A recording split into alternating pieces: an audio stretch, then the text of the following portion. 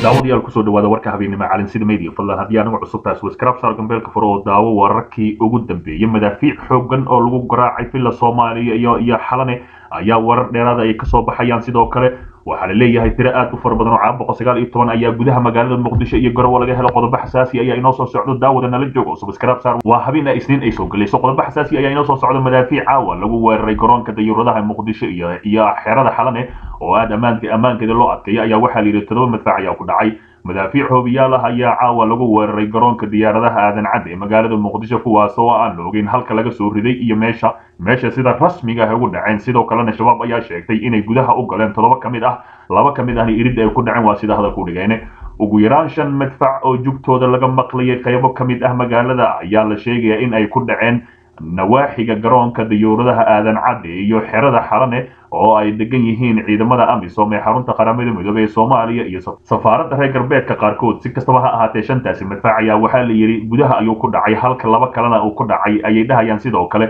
Warar qaar isdhaafsan ayaa sheegaya halka guud ahaan toddoba ay yihiin dhinaca kalena shan ay sheegayaan. Shabaab ayaa toddoba sheegtay dadka qaarkoodna shan ayay sheegeen. Warar laga helayo ilo wareedyo kala duwan ayaa sheegaya in ilaa laba qof ay ku dhaawacmeen qaar ka mid ee madaafiicdaasi oo ku dhacay gudaha garoonka iyo banaankiisa hore waxaana sidoo kale la sheegaya in madaafiicdaasi ay waxyeelo ka soo gaartay gaari nooc noocyada raaxada loo yaqaano oo aagaas yaalay. Dhinaca kale al-shabaab oo sheegtay mas'uuliyadda weerarkaasi ayaa war ay soo saareen. Waxaa lagu sheegay inay garoonka dayuuradaha muqdisho ku weerareen ilaa sagaal madfac ayna garoonka ka dhacay todoba ku dhacay toddoba ka mid ahay madaafiicdaasi halka laba kalena ay ku dhaceen iridda garoonka sida ay shaacisay warbaahinta al-shabaab oo sidoo kalena intaasi ku dartay in khasaaraha dhimasho iyo dhaawac leh ay ku gaarsiiyeen ciidamada ka tirsan amisom iyo ajaaniibta kale ee ku sugan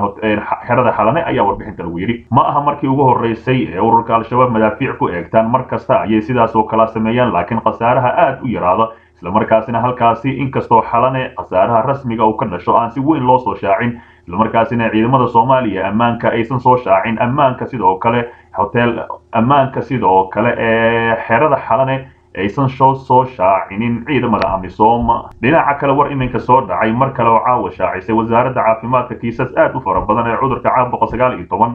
Waxaa la yidhi waxaa laga helay labaatan iyo sagaal qofood ayaa laga helay kow iyo labaatan ayaa lab ah ladigna waa sideed ayaa warbixinta lagu yidhi wasaaradda caafimaadka soomaaliya ayaa goor ee caawa soo saartay warbixin maalinlaha aheyd ee cudurka caab boqol sagaal iyo toban waxaana lagu shaaciyey kiisas cusub oo caab boqol sagaal iyo toban islamarkaasina aad u fara badan. Wasaaradda ayaa warbixinteeda ku sheegtay in labaatan iyo afarkii labaatan iyo afartii saac ee la soo dhaafay labaatan iyo sagaal qofood loo diiwaan geliyey inuu ku dhacay cudurka caab boqol sagaal iyo toban kow iyo labaatan qofood oo ka mid ah ayaa kow iyo labaatan qofood ka mid ahi. sagaal iyo labaatan qof ee maanta laga helay cudurkaasi ayaa ah lab ama rag halka sideeda kalena ay yihiin dumar. sida warbixinta lagu sheegay. sidoo kale warbixintaasi wasaaradda ee caafimaadka ee caawa soo baxday ayaa lagu sheegay in hal qof oo ka mid ahi dadkiis dadkaasi horey loo shaaciyey oo ka bogsaday cudurkaasi oo caafimaad qabo. warbixinta caawa cawanimadii cawanimadii ka soo baxday guddiga wacyigelinta iyo ka hortagga xanuunka caam boqol sagaal iyo toban ee deegaanada maamulka puntland ayaa lagu xaqiijiyey kiisaskii ugu horreeyey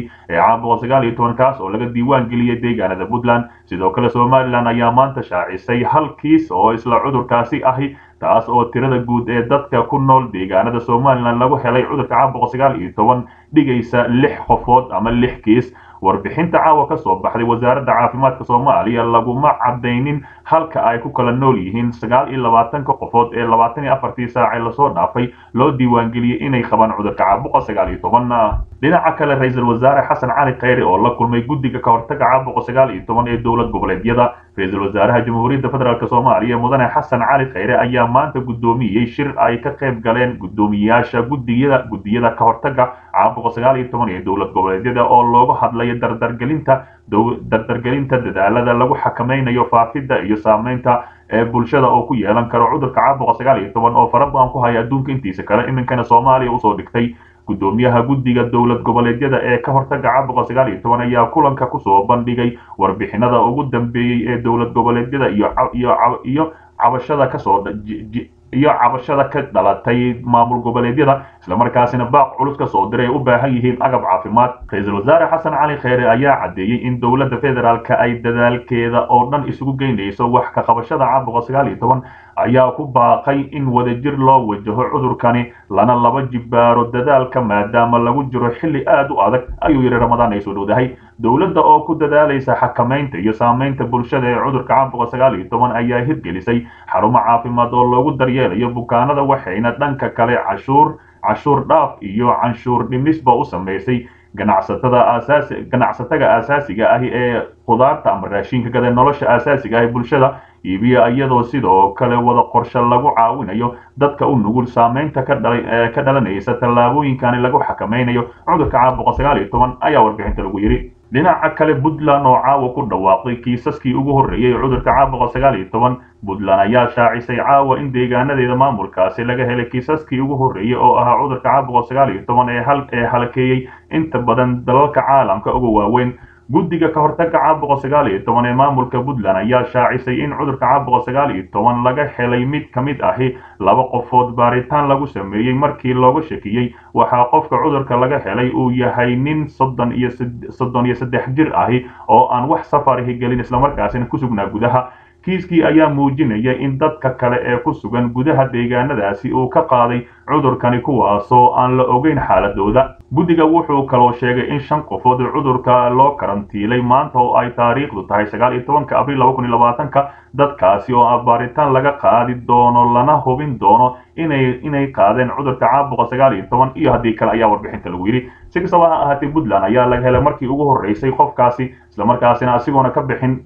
maamulka puntland ayuu cudurkaasi ku dhacay ayaa warbixinta lagu yidhi. Dhinaca kale dowladda soomaaliya oo hirgelisay xarunta dhexe ee xiriirka cudurka caabuqa sagaal iyo toban islamarkaasina la soo bandhigay. Dowladda soomaaliya ayaa hirgelisay xarunta dhexe ee xiriirka oo laga hayo talooyinka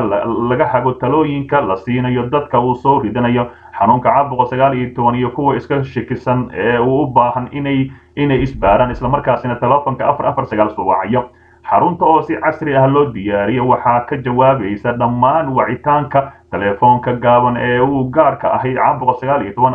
sagaal waxayna bukaanada ku xirtaan qaybaha kala duwan ee la tacaalidda cudurkani dadkan xarunta soo waca oo labaatan iyo afar saac kasta oo gaaraya afar kun afar boqol oo kun oo qof oo kala jooga gobollada dalka bukaanada ka sheeganaya calaamadaha cudurka balse ay xaaladooda fudud tahay bukaano xaaladooda adag tahay iyo dad laga geeriyooday ayaa intaba soo waca bukaanada xaaladooda fudud tahay waxaa talooyin caafimaad ka helaan dhakhaatiirta xaruntaasi ku sugan bukaanada xaaladooda adag tahay waxay xarunta u dirtaa gaadiidka gurmadka degdega ah oo isbitaal martini toos u geeya dadka laga geeriyoodayna. Waxay xarunta ku xiriirisaa xafiisyada dowladda hoose ee loo dirayo ka shaqaynta aaska meydadka loogu shakisan yahay inay caabuqa u geeriyoodeen xarunta dhexe ee xiriirka ayaa sidoo kale qayb weyn ka qaadanaysa wacyigelinta bulshada khatarta u leeyahay cudurka caabuqa sagaal iyo toban islamarkaasina dhalinyaro firfircoon halkaasi la keenay sidaa sawirka ugu jeedaan aadna loo casriyeeyey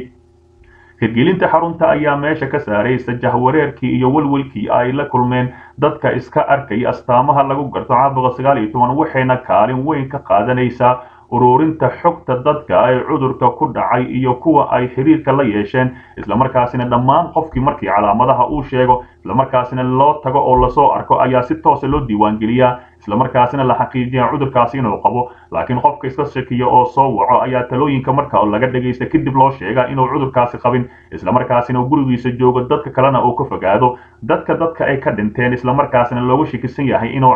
calaamadahaasi uu ku dhintay. Ayaa dowladda hoose loo diraa islamarkaasina si toosa u soo dhaqo si toosna u duugo halkaasina lagu ogaado inuu caabuqo u dhintay. Si kastaba ha ahaatee dowladda federaalk soomaaliya ayaa horey u sheegtay inay dadaal xoogan kula jirto siday u xakamayn laheyd ama dadka magaalada muqdisho ku nool oo ah dadka ugu badan soomaaliya ee caasimada ku nool kuwaasi oo loo xaqabtiri lahay waxyaabaha ay u baahan yihiin